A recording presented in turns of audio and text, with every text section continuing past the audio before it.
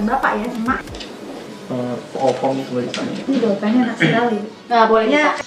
Kalau yang ini untuk da- eh, untuk darahnya nanti ta- darah dari, dari tali pusarnya diambil, diambil terus masukin ke tabung ini baru mereka proses dan mereka bawa pakai kayak Ini katanya nanti setelah penuh ini dibagi lima. Heeh, jadi nanti dimasukin di tabung dibagi lima itu doang sih. Ini yang darah. Kalau yang ini, Talinya. Kalau yang ini talinya, tali pusarnya. Jadi tali pusar yang kita potong, bapaknya motong itu nanti dimasukin di sini nih.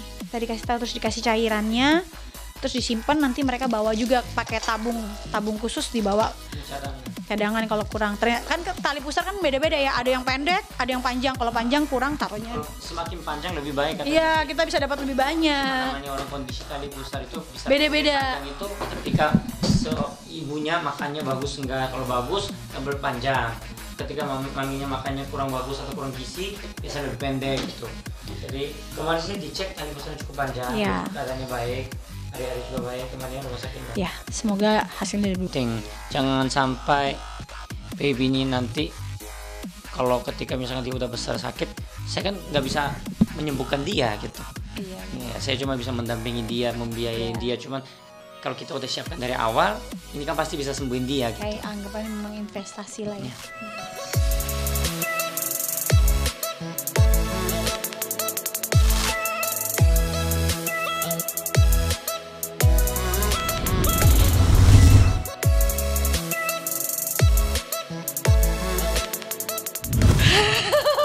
Budgetnya berapa pak? Pak, pak, pak, pak, berapa pak? Apa? Tapi untuk baby nggak apa-apa. ya aslinya Budgetnya tuh berapa ya? dalam hitungan Ringgit ya? ya? ringgit itu ratusan sih. Jadi tadi kalau nggak salah yang 100 kalau dijadikan rupiah kalau nggak salah 140 Ya. sekian saya Tapi itu bisa dicicil, cicil. tergantung Tergantung jadi tergantung kursnya. Tapi itu udah dua ya. Maksudnya udah darah dan tali pusar. Jadi ada yang mau bisa cuman salah satu aja jadi bukan sebenarnya kebanyakan uang juga cuman tapi kita benar-benar ini karena penting banget untuk kesehatan apalagi bisa dipakai seluruh keluarga sebenarnya jadi kita lebih pengen ke sananya sih di Malaysia Di lab di lab tapi di Malaysia jadi untuk pertama kali kontrak itu 21 tahun. 21 tahun. Nanti setelah 21 tahun per tahun kita perpanjang. Ya kayak kita simpen apa ya?